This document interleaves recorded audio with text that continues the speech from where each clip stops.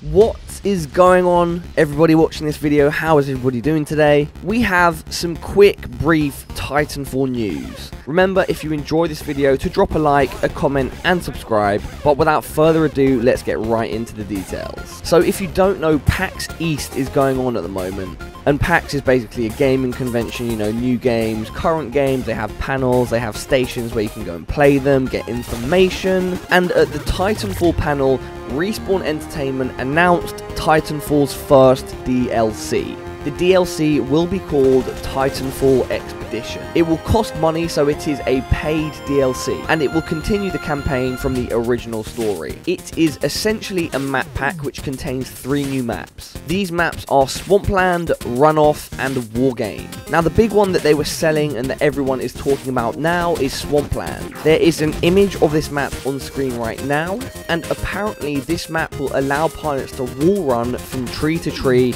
and thus create really weird and exciting angles and kind of odd ways to use the wall running technique. The area will be littered with ruins of alien technology, and that is pretty much all the information that we have on this map. The second map, Runoff, is a water map and is loosely connected to Swampland. According to the devs, it has a lot of pipes and water.